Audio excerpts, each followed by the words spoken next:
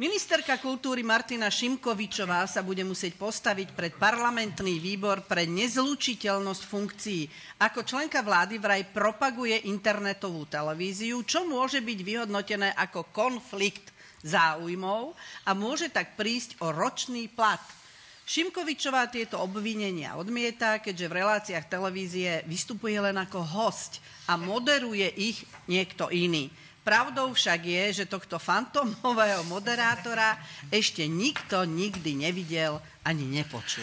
Urč, určite ste to zachytili. E, pani ministerke sa nepáčil jeden obraz, kde boli dvaja nahí muži. Tak jej hovorili, pani ministerka, ale vy ako umelkyňa, vy takisto malujete nahé ženy. A ona povedala, citujem, holá žena ako taká nikoho nepoburuje.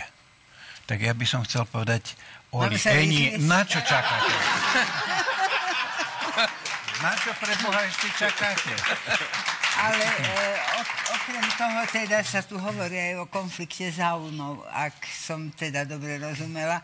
Moja e, susedka sa pohádala so svojím mužom pre jeho konflikt záujmov, lebo mal záujem o svoju sekretárku.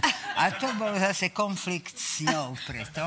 No a u politikov je to tiež konflikt záujmov, tiež ich treba za to potrestať, ale ten konflikt záujmov nesmú mať pri nevere, lebo iný konflikt záujmov, podnikanie, politika, tak to sa im prepáči.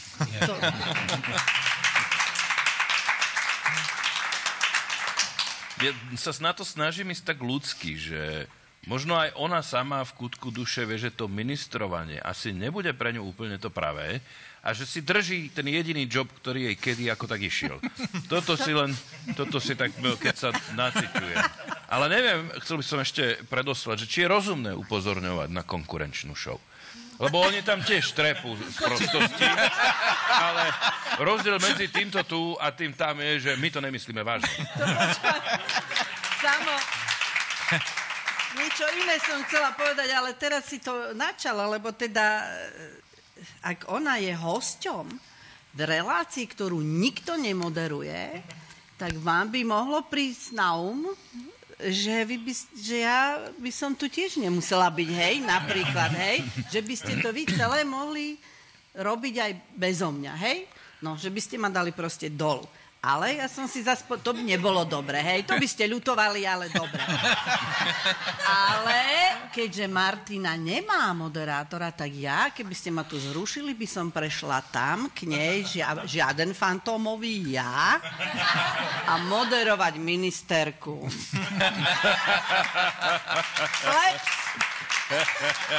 Fleps. Prepaž, ale Ty by si sa lepšie hodila na ministerku.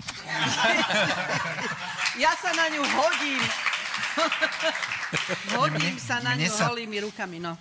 Mne sa páči na pani Šimkovičovej, že trikrát povedala... Trikrát ja, dosť. Tri, nie, že ja nie som moderátorka, ja nie som moderátorka, ja nie som... A si myslela, že je hostka. Prečo si to nevyskúšala na nečisto?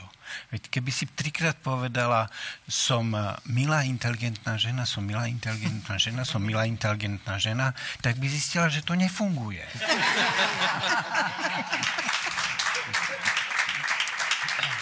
Ale zas... No, deti moje, neviem, či sa my v tom novom roku uvidíme, ale... ale zase, pozrite sa, je, dôležité je, že, že pani Martina Šimkovičová a pán, tuším, bola sa Peter Kotlár, že, že vlastne tak. oni už pochopili, že nie sú ani moderátori a, a nie sú už ani politici, lebo neviem, či ste si všimli, ale potom, jak sa rozvierila táto kauza o tejto nezlučiteľnosti funkcií, tak oni tú oficiálnu facebookovú stránku televízie TV Slovan premenovali na Martina a Peter.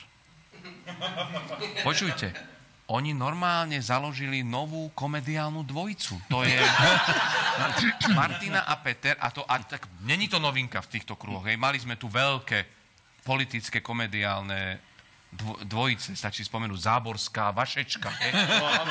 Alebo pr- Pročko Matovič. Alebo Kaliňák s počiatkom. Hej. Ale toto, toto je nový level. To mi sa počne, kde sa hrabe Vácvalova,